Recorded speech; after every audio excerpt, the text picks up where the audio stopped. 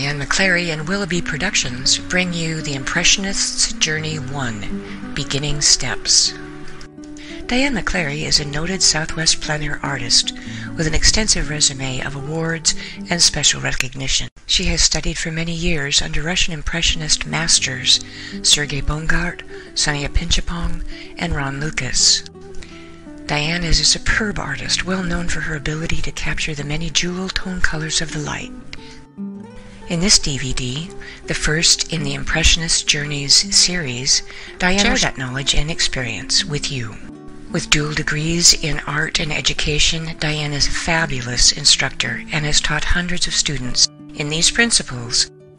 This DVD includes 90 minutes of discussions on the art form, the tools, the materials and paints that she uses, how she lays out her palette, and the understanding of the importance of a good value study. She will show you how to recognize color temperatures and explain in detail exactly what to look for, then demonstrate the three critical steps to creating successful paintings in a reliable and consistent way time after time.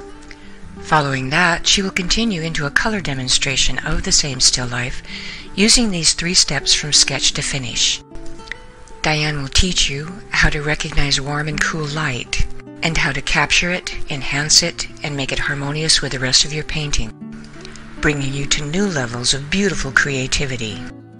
There is no DVD on the market today as comprehensive and educational as this first in the series of the Impressionist journey. So join Diane in this journey through the steps to becoming an Impressionistic painter.